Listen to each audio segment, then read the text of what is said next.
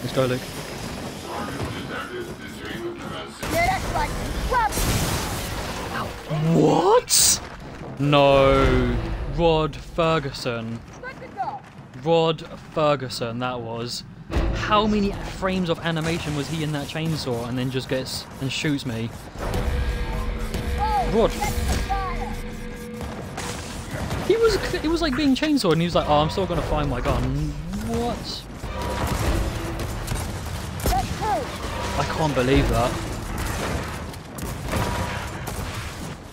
Look at that guy wall bouncing.